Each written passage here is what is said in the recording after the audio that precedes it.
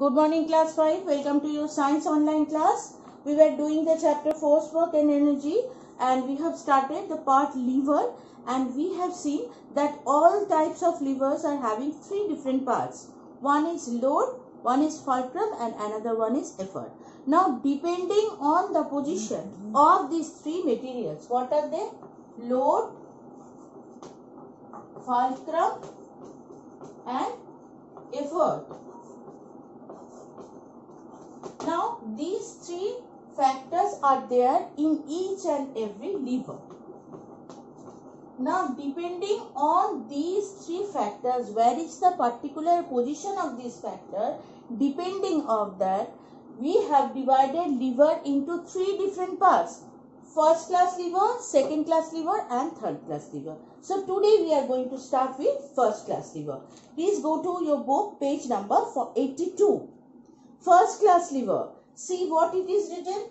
Load, fulcrum and finally effort. So here in case of first class lever, load would be in a side and on the opposite side there will be effort and the center position will be taken by fulcrum. In this type of lever, the fulcrum is placed between the effort and the load. See the arrangement is load, fulcrum and effort. The seesaw in your school playing ground is a first class lever. Now see, see, suppose this is a seesaw in your playground.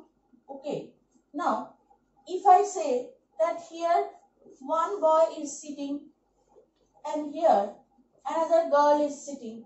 So this is the point where the rod is balanced. So this is the fulcrum. Here the load and finally the girl again will put effort to bring it down. So see seesaw is a very easy example of the first principle of first class lever. See the picture is also provided over here. Yes. The seesaw is in your school playground is the first class lever. Scissor, claw hammer and plier are the other example of first class lever. When you see a spoon to open the lid, you can use the first class lever. It is also see when there's a, uh, just a minute, let me see one thing. Yes. So, see, scissor how it is working. See, here, if I draw a scissor like this,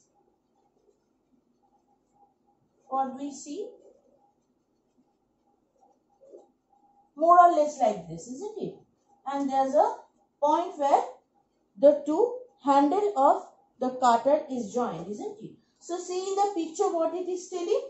The load is over here, the fulcrum is at the center and here the effort you have to put to cut, isn't it? So this is the arrangement of first class lever where in the center there is fulcrum inner side there is lever and another side uh, sorry load and another one side it is effort now we will go to the second i think you have understood.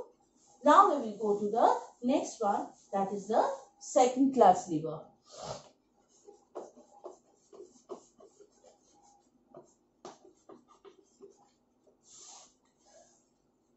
this type of lever the fulcrum is at one end so fulcrum you can see it is at one end and the effort is applied on the other. So effort is at the end, another end. So we can easily understand that load will be in center. So in first class lever what we have seen? Load, fulcrum. What we have seen in first class lever? Load, fulcrum and effort. Here see just these two places are being changed isn't it? the load is in the center and fulcrum in case of second class lever. In this type of lever, the fulcrum is at one end of the rod and the effort is applied on the other end. The load lies between the fulcrum and the effort. Wheelbarrow, bottle opener and nut cracker, crackers are the example of second class lever. The wheelbarrow allows one to lift and shift a heavy load with the help of the fulcrum. See,